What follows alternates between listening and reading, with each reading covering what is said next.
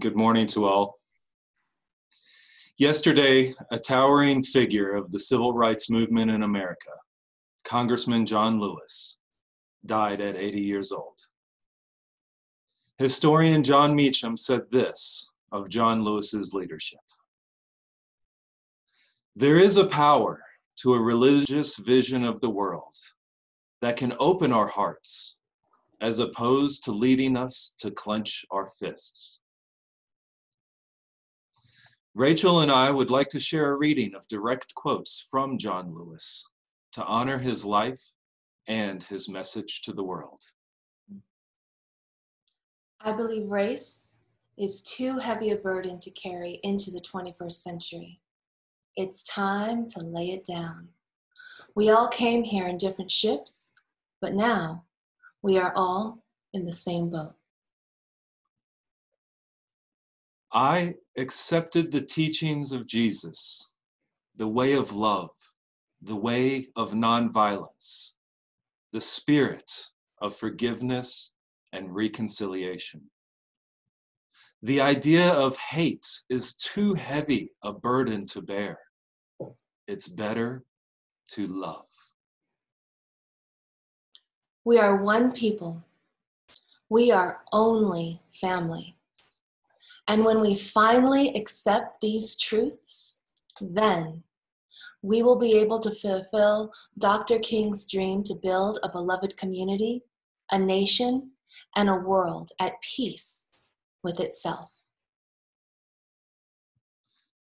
And you live as if you're already there, that you're already in that community, part of that sense of one family, one house.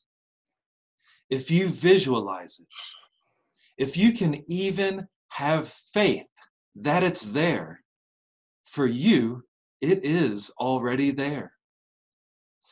And during the early days of the movement, I believed that the only true and real integration for that sense of the beloved community existed within the movement itself.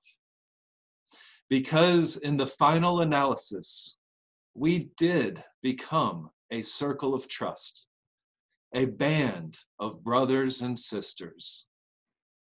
So it didn't matter whether you were black or white. It didn't matter whether you came from the north to the south or whether you're a northerner or southerner.